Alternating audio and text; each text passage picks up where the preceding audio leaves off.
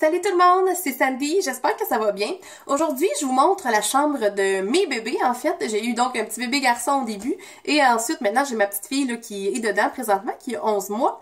Et je me suis dit, bon, tout d'abord, ça va vous donner peut-être des idées de décoration, d'inspiration pour aménager votre chambre de bébé.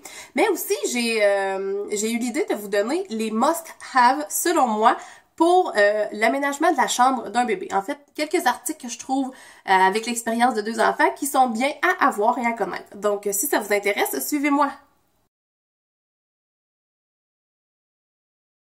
Il va, ça se présente comme ceci. On rentre dans la chambre. Bon, ici à notre gauche, j'ai mis euh, la photo de mes deux bébés à six mois. Puis euh, j'ai acheté en fait un petit coffre de jouets blancs. Euh, quand j'avais euh, donc mon garçon qui était là, j'avais un toutou qui était plus style garçon. Puis là, bon, on a eu celui-là en cadeau. Donc ce coffre-là est très pratique pour faire la rotation des jouets. Fait que des jouets que les enfants ont trop vus, on les met là quelques semaines, puis on les ressort. Donc ça, c'est un petit coffre de jouets. C'est pas un must-have, là, mais c'est toujours pratique d'avoir du rangement. Ici, dans le garde-robe, les portes restent toujours ouvertes chez moi et ça se présente comme ça. Donc, en haut, on a trois bacs euh, dans lesquels j'ai euh, les collants, dans le cas d'une petite fille. J'ai aussi un bac, c'est strictement les tucs. Sinon, on s'éparpille, puis les affaires de bébé, c'est tellement petit que des fois, mettre ça, exemple, dans l'entrée, les tucs, les foulards, avec les autres, ben ça se mélange. Euh, bon, puis pour ma part, de ce côté-là, c'est le linge de jour, et de ce côté-là, c'est le linge de nuit.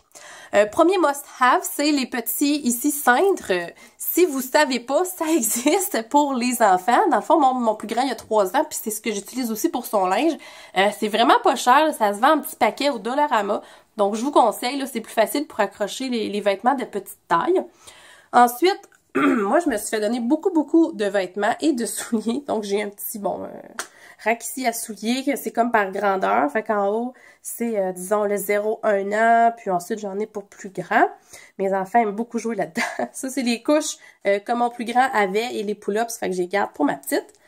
Le bac de linge sale. Et encore du rangement. Fait que ça, c'est bien, je trouve, comme euh, petit bac, parce que tu peux voir ce que tu as dedans. Donc, encore des jouets. Ça, c'est mon rack de bavettes. Comme ça ici. Euh, ici, j'ai mes recharges pour ma poubelle à couche, en tout cas. Enfin bref, j'ai plusieurs recharges là-dedans, les lingettes pour les pour les founes. Et j'ai donc un petit must-have ici, un bac de jouets. Parce que dans le salon, on a des jouets partout dans la maison. Puis comme je disais tantôt, les enfants, des fois, ils, ils standent un peu de voir les mêmes jouets. Fait que moi, j'ai des comme deux ou trois bacs comme déjà préparés comme ça, que je fais la rotation ben, une fois de temps en temps. Fait que je prends le bac tout simplement, poup, je l'amène, je prends l'autre bac, je le resserre ici en attendant. Euh, le sac à couche, là, on s'y attendra pas ici, mais il est toujours là, toujours euh, paré au décollage. fait que je reviens comme ça. Des rideaux. J'espère que la luminosité va être bonne. Donc, tantôt, je disais que j'avais eu un garçon, puis maintenant, j'ai une fille. Attendez, je vais prendre un petit peu de recul. C'était simplement pour vous dire que on peut facilement transformer le décor d'une chambre de garçon en chambre de fille. Bon, là, je prétends vraiment pas avoir euh, euh, des, talents incroyables en décoration, là, mais regardez, les petites tablettes ont toujours été là pour mon garçon. Le cadre de clown également, c'est un cadre qu'une artiste avait fait à mes parents pour euh, ma naissance à moi. Et puis, finalement, tout ce qu'il y a sur le petit meuble ici, donc les toutous, puis les cadres, c'était tous existants, mais dans une autre couleur finalement pour mon garçon. Fait que euh, j'essaierai peut-être de vous trouver ouais, une image de la chambre de mon garçon. Je vais essayer de vous mettre ça à l'écran pour vous donner un coup d'œil que là, ça fait peut-être rose fille. Puis avec vraiment pas beaucoup de budget, ben, on peut faire euh, une chambre de garçon aussi. Donc, sans nécessiter là, de... J'ai pas repeinturé mes murs. À la base, j'avais choisi un petit jaune quand que je savais même pas euh, quel enfant... Ben, quel, euh, quel était le sexe de mon enfant. Finalement, je voulais quelque chose de neutre qui allait même passer dans le temps. Ensuite, on y va ici. Donc, euh, ça, c'est encore du rangement. dans le cas de ma petite fille ici, j'ai des élastiques pour les... Je vais être capable de vous montrer. Ah, des élastiques. Ah oui, puis des suces, ça n'en prend plus des suces. Euh, pour ses cheveux, c'est des petits coffres comme ça euh, que j'ai pris au Dollarama, ça coûte pas cher. Ça, c'est d'autres charges. Euh, je voulais vous montrer ça. Un moniteur, c'est un must-have. J'imagine que je vous apprends rien, surtout quand bébé commence à faire ses nuits seul dans la chambre. Euh, sérieusement, pour le prix, là, moi, je vous conseille vraiment, en tout cas, si vous êtes un mère poule comme moi, un écran comme ça ici. Euh, Celui-là, je pense qu'il m'est revenu à 60$, ce kit-là. Mais euh, c'est quelqu'un qui m'avait donné son kit neuf. Enfin, Euh, donc, pour avoir la tranquillité d'esprit, des fois, le bébé pleure, fait des bruits, puis au lieu d'aller le déranger, d'ouvrir la porte, d'aller voir, on met la petite caméra, puis comme ça, on a l'esprit en paix. Donc, ça, c'est un must-have aussi. J'ai la commode ici que j'ai acheté dans une euh, ressourcerie, en fait. Donc, c'était un meuble usagé. Moi, je le trouvais super beau, puis je trouvais que ça pouvait faire aussi pour un garçon comme pour une fille. Fait que je l'ai repeintu en blanc simplement, puis Bon, ben dans l'étage en haut, j'ai euh, les petits bas, puis les maillots de bain. Ensuite, j'ai les petits... Euh, comment qu'on appelle ça? Les petits cache-couches, les pantalons, etc. Puis plus bas, c'est comme le linge quand elle va être plus grande.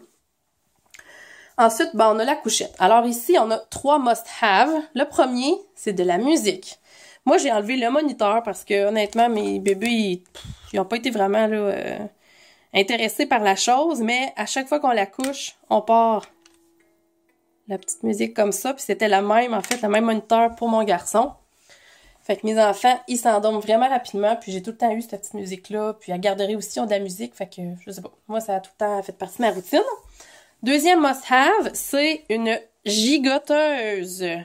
Les bébés, vous le savez, c'est pas super bon qu'ils dorment avec découverte. Alors, pour pallier à ça, ben on achète des petites gigoteuses comme ceci. Moi, celle-là, je l'ai trafiquée quand que, dans le fond, pour mon plus vieux parce que je trouvais que c'était un petit peu serré pour euh, l'encolure ici, fait que j'ai simplement coupé. C'est vraiment laid, mais ça me dérange pas. Ça t'a fait les lavages. Même chose en dessous des bras. Je trouvais ça trop petit. Quand tu viens coucher ton enfant puis qu'il est endormi, essayer de passer un petit bras comme ça tout plié, là, fallait comme forcer. Fait que tiens, j'ai ouvert ça, moi j'ai fait deux grandes ouvertures. Puis à la longueur que ça, ça là, ma petite fille de 11 mois, euh, là, est dedans, puis elle a en masse en masse de, place. Fait que moi, j'ai toujours fonctionné. Je pense mon plus vieux, il y avait un an et demi quand j'ai enlevé la gigoteuse. C'est quand il est descendu en bas dans sa chambre. Fait que c'est ça. C'est pour pas qu'il ait froid parce que avant qu'il soit capable de se rabrier comme faut, c'est assez long. Fait que même si tu mets des couvertes, des fois, ils peuvent se, se découvrir puis un petit peu froid. Fait que gigoteuse. Ensuite, un autre must-have. Là, maintenant, je fonctionne avec des petits bouts de bois, comme ça. Mais avant, je mettais tout simplement des livres. Des livres avec la même épaisseur, puis on se casse pas la tête. Fait que n'importe quoi qui a la même épaisseur, c'est pour surélever légèrement la tête de lit de votre enfant. Alors là, moi, Ariane, elle a une otite, donc, euh, ou qu'elle a des rhumes. Je la surélève un petit peu ici. Euh, puis aussi, quand elle était nouveau-née, pour euh, faciliter la digestion les premiers mois, je la surélevais un petit peu comme ça aussi. Fait que moi, j'ai plusieurs morceaux de bois. Dans un instant, je vais vous montrer ça. Que mes beaux-parents m'ont fait, sont gentils. Fait que ils ont fait plusieurs euh, grosseurs comme ça. Fait que je peux jouer. Ici, c'est un petit peu intense, j'ai jamais utilisé, là, mais euh, je peux jouer dans le fond, je peux juxtaposer différentes grandeurs de bouts de bois selon euh, l'état de mes enfants. Fait que si j'ai besoin de plus incliner le lit. Ensuite, donc, on a ces petits cadres-là que j'ai pris encore une fois au Dollarama avec la peinture, puis j'ai comme customisé ça. c'est moi qui ai rajouté aussi les petites perles comme ça. Fait que vraiment, pour pas cher, on peut faire quelque chose de plaisant.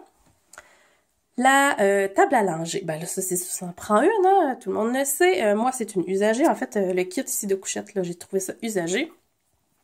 J'ai rajouté ici une serviette, justement parce que mon plus vieux, ben maintenant, ils grandissent, les enfants.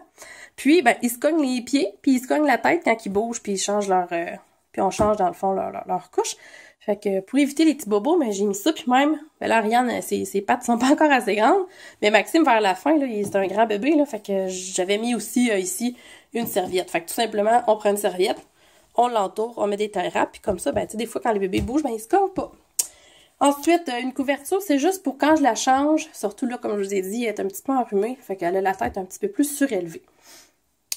Ensuite, euh, oui, ce que je voulais vous dire, c'est, bon, Évidemment, j'ai un matelas à couchette avec une petite housse qui ne euh, laisse pas passer l'eau, mais euh, ça arrive souvent des petits débordements de pipi, de caca. Donc, faut pas être en train de toujours laver ça.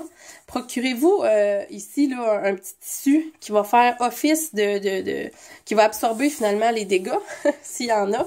Fait que tout simplement, ben, poup, on change ça au lieu de tout le temps changer le, le gros tissu. Bon. Ici, je t'ai aménagé comme ça. J'ai mes lingettes, j'ai mes couches. J'ai deux euh, sortes de couches. Bon, un petit conseil, si vous voulez économiser quelques sous, euh, les couches pour la nuit. Donc, on change pas notre bébé, bon, euh, d'habitude la nuit. Fait qu'on veut pas non plus qu'il ait les fesses irritées puis qu'il reste dans son pipi humide toute la nuit. Donc, je prends, ben en fait, c'est la marque Huggies, mais je prends une bonne marque, autrement dit, qui absorbe plus. Mais le jour, donc c'est là je dis pour économiser des sous, je prends la marque un petit peu la moins chère. Celle-là, je pense c'est du Walmart. Parce que le jour, ben, on est plus là avec notre bébé, on le voit quand il a besoin d'être changé. Fait que ça coûte un petit bon, même quelques économies là, dessous ici, là, avec deux sortes de couches. Les petits bacs, les petites lingettes qu'on a toujours, les barbouillettes qu'on a toujours besoin. Dans le fond, c'est les couches euh, pour la piscine. Puis en bas, ben là, j'en ai plus beaucoup, mais ça, c'est euh, un autre truc imperméable pour la table à langer. Découverte quand des fois j'abrille pour la sieste, parce que pour la sieste, je la laisse là, euh, sans sa gigoteuse, puis des fois je mets une petite couverte sur ses jambes, maintenant qu'elle est rendue un petit peu plus vieille. Ça, c'est mes refils de couches. Un autre must-have ici, c'est la poubelle à couches. C'est un cadeau que j'ai eu à mon shower, donc de Maxime. Puis, honnêtement, quand j'ai fait l'aménagement de ma chambre, là, euh, c'était pas du tout dans mes plans d'acheter une poubelle à couches. J'ai eu un cadeau, fait que j'ai dit, bon, ben, pourquoi pas l'essayer? Ça ressemble à ça, là, pour ceux qui ont jamais vu ça, peut-être. Fait qu'on, on pèse, euh, dans le fond, on rentre la couche là-dedans. Puis, ben, ça enlève les odeurs, puis c'est hygiénique, dans le fond. Après ça, tu, tu, tu, tu jettes la petite rondelle de sac. Seul bémol, c'est pas très écologique je, le sais. Mais honnêtement, peut-être pour commencer, des fois, en tout cas, sachez que ça existe. Moi, j'aurais jamais pensé d'acheter ça finalement, une poubelle à couches. Je pensais juste mettre une poubelle bien ordinaire, puis mettre des, couches dedans. Mais honnêtement, là, euh, les couches, ça pue. C'est pas vivable. La, pièce, ça sent vraiment pas bon si vous laissez ça comme à l'air libre comme ça. Ensuite, toujours dans les must-have, euh, une lampe. Une lampe qui fait une douce lumière. Parce que les premiers mois, quand votre bébé va pleurer, ben, vous allez vouloir venir le voir, évidemment, sans allumer la grosse lumière. Donc, prenez une lumière douce, comme ça ici, puis moi, je vous avouerais que nous, on mettait les premiers temps, parce que même ça, la nuit, c'est fort, puis pour pas déranger bébé, en tout cas déranger au minimum, on mettait même une couverture dessus. Là, attention, là, pour pas mettre le feu chez vous, faut pas laisser la lumière allumée longtemps. Nous, c'était quelques secondes, le temps de vérifier si le bébé tout allait bien, mais sinon, juste une lumière comme ça, ça peut faire la job aussi. Puis, si vous avez besoin, ben là, c'est le fun. Celle-là, euh, poup, comme plus de choix. Alors, je pense que ça fait le tour des choses que je voulais vous dire pour les, euh, la chambre de, des bébés. Fait que donnez-moi vos commentaires, vos astuces. Peut-être que vous aussi, vous avez d'autres trucs, des choses que j'ai oubliées. Là, il y a plein de must-have euh, concernant les articles de bébé que j'ai pas abordés ici. Moi, je voulais m'attarder à l'aménagement de la chambre en tant que telle. J'espère que ça vous a plu, que ça vous a donné peut-être des petites idées. Si vous aussi vous avez des articles indispensables ou des suggestions euh, pour une chambre de bébé, laissez-les en commentaire, je suis curieuse de voir. Sur ce, bonne journée tout le monde!